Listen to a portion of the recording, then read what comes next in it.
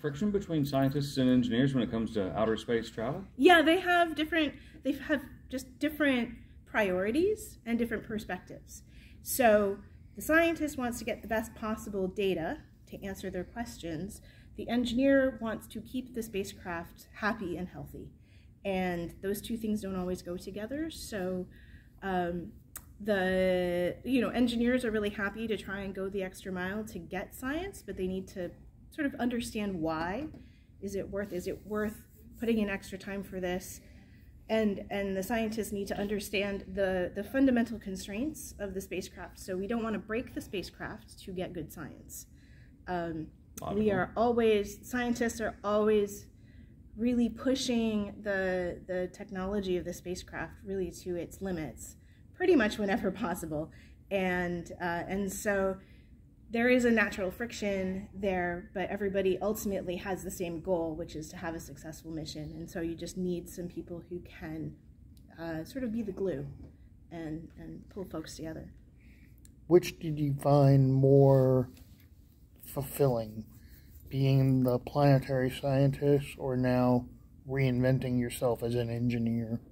I find the uh, the it's called science systems engineering. So I find being this facilitator and bridge more fulfilling um, because uh, you know I get to make the science happen, and uh, that has an impact across a broader uh, a, broader swath of science topics.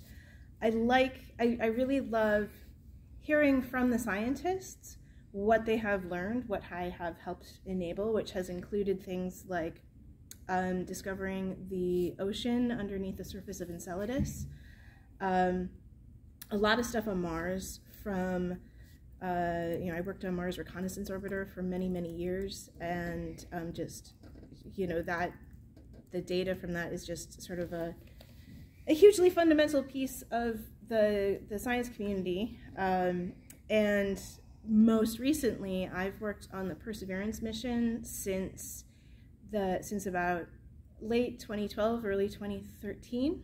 So uh, I was uh, I worked on the science definition team. So as we were deciding what kind of what were the what was the science that we wanted this rover to do, um, I was helping sort of shepherd the conversation and the discussion. And so for a period of time, the entire rover was basically a set of PowerPoint slides on my computer, and now it's an actual rover on Mars collecting wow. data every day. And I uh, saw it through from that beginning, and then representing the, the interests of the scientists that are all around the world, being a person at JPL in the conversations with the engineers, saying things like, oh, if you're going to make that decision, you can't, we need to make sure it's going to probably impact or have an effect on the this particular instrument, we need to make sure that representatives from that instrument are in these design conversations. Um, I helped I helped design the operations process, the way in which the scientists and uh, talk amongst themselves. Every, every, you know, if you put five scientists in a room, you have seven ideas on what you, seven opinions yeah. on what you should do, and so I worked to how are we going to have the discussions and figure out a consensus of what we should do each day with the rover, but also what planning software tools do we need, and then working with the um, the programmers to and the um, the the interface designers to say like, okay, we need a targeting tool. We need to be able to see the images, you know, in a 3D projection. You know, we need these different instrument teams are going to use this. They're going to need particular types of information uh, to make their decisions, and it needs to talk very smoothly to the rover planners, the people who are actually putting the arm down on Mars or driving to places on Mars, um, and helping with the testing of that, and just really um, sort of trying to build the framework for operations and then train the scientists and get them to all come together. So um, I loved, I just really love that kind of work. And then I like that seeing the beautiful data that comes down, the really awesome pictures, and and then um, you know listening to them just discuss what they think it might be, like the stuff mm. that we're seeing. Is this uh, you know, what kind of is this a volcanic rock? Is this sedimentary rock? Is it form? Is it from a lava flow? Is it from uh, you know mud deposited by a river or in a lake? And like listening to how hard it really is to tell the difference between those sometimes on Mars, and uh, and just you know sort of being along for the ride as we build up this picture of uh, of what Mars used to be like. If it's a sedimentary rock though on Mars, is there water there now currently? No. So wouldn't it wouldn't it fossilize or something and turn into something non-sedimentary? Um, so uh, a sedimentary rock is just fundamentally uh, pieces of rock that have been broken off Mhm. from somewhere and traveled by wind or water to a new location and deposited and then slowly compressed to form Okay. a solid rock. So that's like mudstone, sandstone, things like that. Um, a volcanic rock, uh, depending on the conditions that it forms in, it can um, uh, it'll have little crystal grains from the different minerals growing, and you know by the what what kind of crystals and the size of the crystals can tell you a great deal about the conditions that it formed in. But the thing is, is that on Mars, all of the original rocks are volcanic, so you have little pieces of volcanic rock Mhm. broken off and traveling. So even your sand Oh. like the chemistry of your sand is going to be uh, ultimately match a lot of the, the volcanic rocks. Okay. Um, and it's just that you'll, you'll you might see that it's got um, more interactions with water along the way if it was if it traveled via lakes and rivers and things like that. You mentioned something about five minutes ago. Insolidescence? Insolidence. Did I'm, I? I'm saying it wrong. What is in, it? Was it was something that was discovered, or it was a, a, a vehicle or something? I'm I totally am, am pronouncing this wrong. Uh, You said it in passing, and I, I wrote what it. is their con- context, please? Because I'm not getting. I just I, I wrote because it, it, it was in, it was in a science statement. Oh, statement. Enceladus. Encelad- what is it- Enceladus. what is? Enceladus is thank you. Enceladus is a moon of Saturn. okay.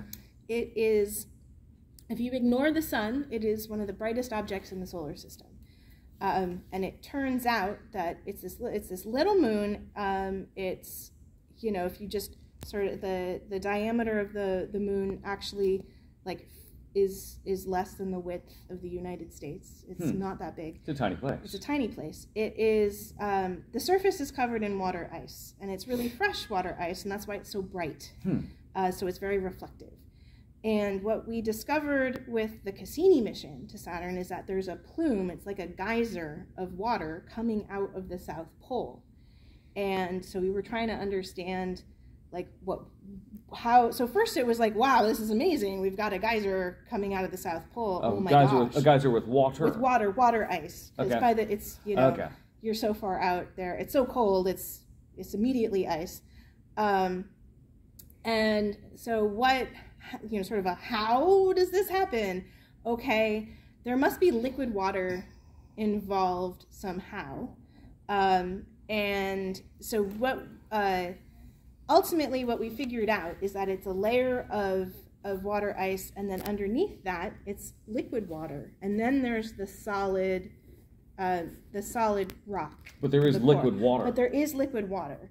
Um, and it's because of it's probably because of um, the gravitational pull of saturn it causes tidal forces. So just like on the earth um, the moon causes tides. And we mostly see that in the water right? The ocean tides. Yeah. But there is a very it's, you know that that can it can have that same effect on rock it just doesn't move as much because rock is just is is a stiffer material Yeah. but if you are able to have a great enough pull on on your rock so it, it just basically is is squeezing you're squeezing your rock a lot as it moves around and that can and um, cause heat and so it has That's a little- amazing. so so um, there's a, a number of moons we've discovered out in the outer solar system around Saturn and Jupiter that have this. Uh, you know, the tidal effect has caused water just under the surface of the frozen surface of the moon. But then there's also Io, which is one of the moons of Jupiter, and it's actually got huge volcanoes because of the same effect, this tidal forces from the planet.